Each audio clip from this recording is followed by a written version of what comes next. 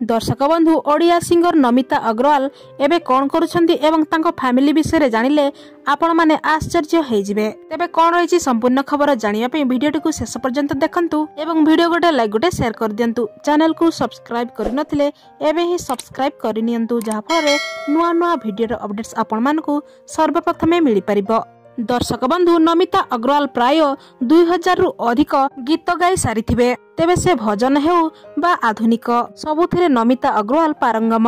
ତାଙ୍କର ମନଛୁଆ ସଙ୍ଗୀତ ପାଇଁ ତାଙ୍କୁ ବହୁତ ସାରା ଭଲ ପାଇବା ମିଳିଛି। ତାହେଲେ ନମିତା ଅଗ୍ରୱାଲଙ୍କର ପରିବାର ବିଷୟରେ ଯଦି ଆମେ କହିବା ତେବେ ତାଙ୍କ ପରିବାରରେ ତାଙ୍କର ଦୁଇ ଜଣ ପୁଅ ଅଛନ୍ତି।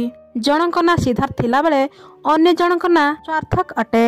ତାହେଲେ ନମିତା ଅଗ୍ରୱାଲ ତାଙ୍କ ପରିବାରରେ ତାଙ୍କର ସ୍ୱାମୀଙ୍କ ସହିତ ତାଙ୍କର ଦୁଇ ଜଣ ପୁଅଙ୍କ ସହ ରହୁଛନ୍ତି।